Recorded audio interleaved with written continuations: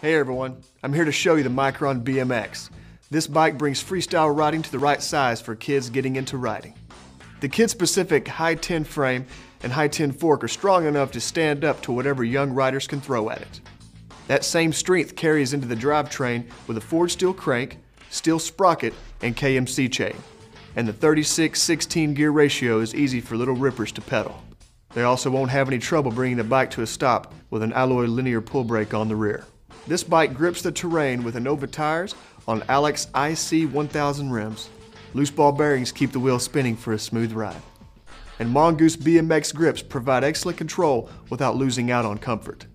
The Mongoose Micron BMX gets young riders started right with a bike that's just their speed.